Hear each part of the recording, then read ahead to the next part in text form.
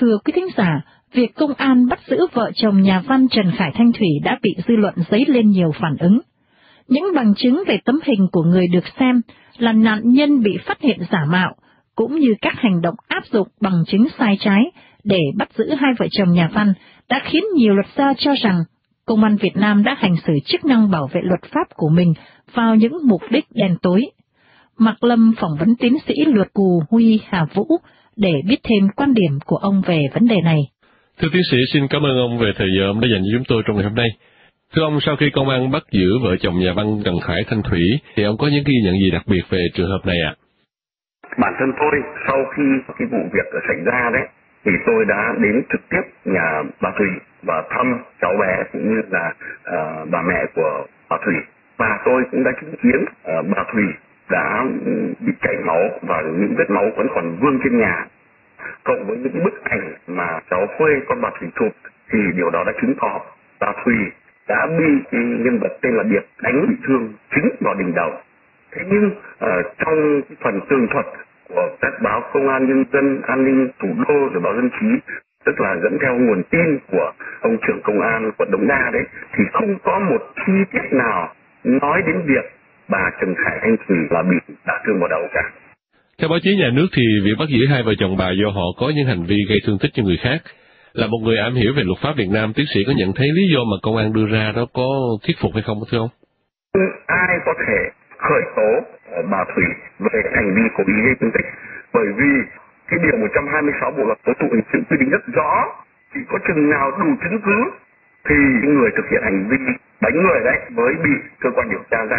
quyết định khởi tố bị can. Vậy đủ chứng cứ là thế nào đủ chứng cứ tức là phải theo pháp luật là phải từ 11 phần trăm trở lên. Và trong trường hợp này thì nhân vật điệp đấy chưa được đi giám thương. Vậy thì không thể nói là cơ quan điều tra đã đủ chứng cứ để khởi tố. Đây là một cái sự dàn xếp sẵn bắt và khởi tố ngay lập tức. Nó thể hiện rất rõ đây là một cái vụ bắt người được dự định sẵn Vậy thì theo tiến sĩ, những yếu tố nào ông thấy là không phù hợp trong việc kết tội hai vợ chồng nhà văn Trần Khải Thanh Thủy ạ? À? Theo khi thông ờ, tin được phản ánh trên báo an ninh thủ đô thì một giờ sau uh, khi vụ việc xảy ra tức là khoảng 21 giờ 30 đấy thì công an phường Trung Phụng là cái nơi mà vợ chồng bà Thủy cư cư trú đấy mới mời được vợ chồng bà Thủy đến trụ sở công an phường để giải quyết vụ việc và sau đó thì họ bắt luôn tại đó. Vậy thì lúc mà bà Thủy và chồng bà Thủy được mời đến trụ sở công an phường và sau đó họ bị bắt. Thì rõ ràng là tại trụ sở công an phường họ không phải là ở trong cái tình trạng đang thực hiện tội phạm.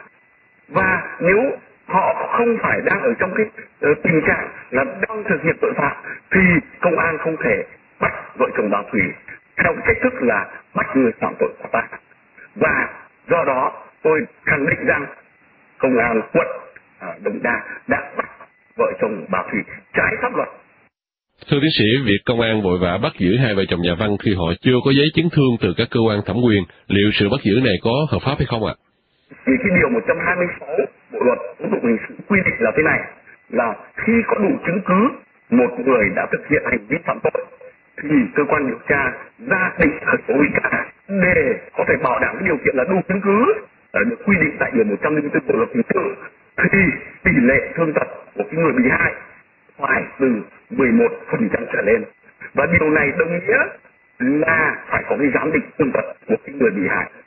Thế nhưng cái ngày mùng 9 ấy, theo các báo đưa tin thì bà Trần Khải Thanh Thủy đã bị khởi tố ở bị can theo điều 104 tức là về cái tội cố ý thương tích. Trong khi không có một nguồn tin nào nói người được coi là bị hại đấy đã được đưa đi giám định. Tóm lại không có giám định thương tật của cái nhân vật tên là Điệp này mà công an đã khởi tố bị can à, bà Trần Khải Thanh Thủy về cái hành vi cố ý gây thương tích quy định tại điều 104 là hoàn toàn trái pháp luật.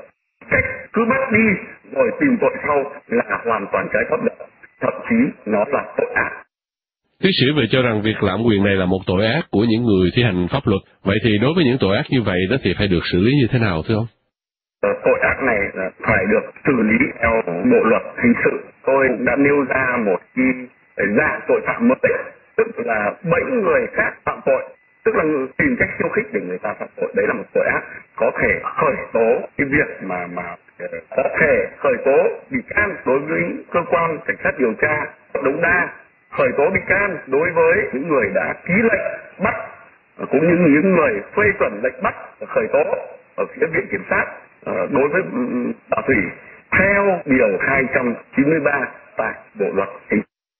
Báo Dân trí đã đăng tải một tấm hình của người mà họ cho là nạn nhân trong vụ hành hung. Thế nhưng tấm hình này đã bị phát hiện là giả mạo và đã dùng kỹ thuật Photoshop để tô đậm thêm vết máu cũng như là sửa lại ngày tháng. Luật sư có nhận xét thế nào về chuyện này thưa ông? Mặc dù tôi chưa hỏi bất kỳ cơ quan công an nào mà đã có những bức ảnh như thế, nhưng mà tôi có thể đoán định rằng đây là những bức ảnh thực sự chụp ông Điệp vào tại cái thời điểm hiện nay khi mà xảy ra cái việc sâu sắc, chứ không phải cách đây 4 năm. Đây là một cái sự nhầm lẫn về cái dữ liệu không được cập nhật Trong trường hợp mà nhà văn Trần Khải Thanh Thủy muốn khởi kiện những người đã tạo dựng những bằng chứng giả mạo để bắt giữ hai vợ chồng của họ đó, thì bà ấy sẽ bắt đầu từ đâu thưa tiến sĩ? một khi cái cơ quan cảnh sát điều tra thừa nhận tức là cơ quan cấp trên cái cơ quan điều tra của công an quận đống đa đấy mà đã xác nhận là bà thủy trái pháp luật hay là khởi tố bà thủy trái pháp luật thì lúc đó bà thủy có thể thể là, là coi chuyện ờ, đề nghị các cơ quan bảo vệ pháp luật khởi tố hình sự đối với những người đã bắt mình và khởi tố mình sai Xin được cảm ơn tiến sĩ Cụ Huy Hà Vũ đã dành cho chúng tôi cuộc nói chuyện ngày hôm nay.